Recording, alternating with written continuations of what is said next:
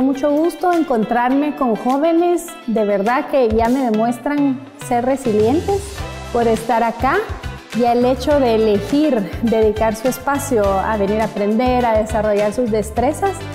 Pero además de los riesgos, pues claro, el proceso resiliente implica que identificaron recursos, recursos en ellos, fortalezas, recursos interpersonales y también contextuales, culturales, materiales.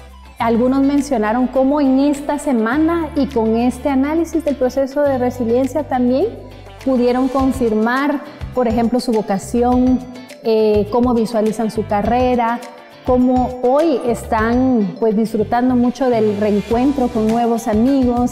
Este bootcamp de verdad que les hizo darse cuenta eh, de todos los recursos que tienen, los veo que se van con mucha esperanza, mucho optimismo, viendo que definitivamente tienen esa capacidad de adaptación positiva, pero sobre todo de transformar las dificultades en oportunidades de crecimiento.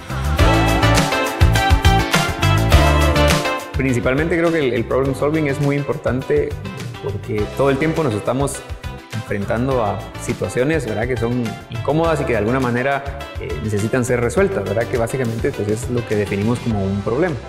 Y mm, para trabajar esto, esta semana estuvimos trabajando dos estrategias o dos tipos de estrategias específicamente, las estrategias analíticas y las estrategias eh, creativas o heurísticas.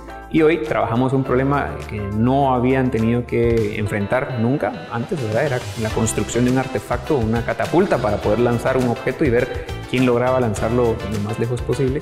Creo que ha sido un tiempo muy enriquecedor, ¿verdad? Y ellos pudieron explorar las dos aristas o las dos corrientes de las estrategias de problem solving.